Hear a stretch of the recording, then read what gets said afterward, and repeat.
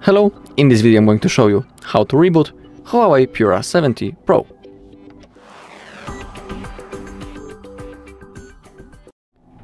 Okay, so let's begin. So only thing that we need to do is to open up the power menu and from that place we will be able to reboot this device. To open up the power menu, we only need to hold the power button for around, I don't know, maybe up to 3 seconds. So simply hold the power button until the power menu appears. That's our power menu. And now simply tap on the restart button. Now tap once again. Now as you can see the screen has been turned off and now within a few seconds the Huawei logo should appear on the screen just like that.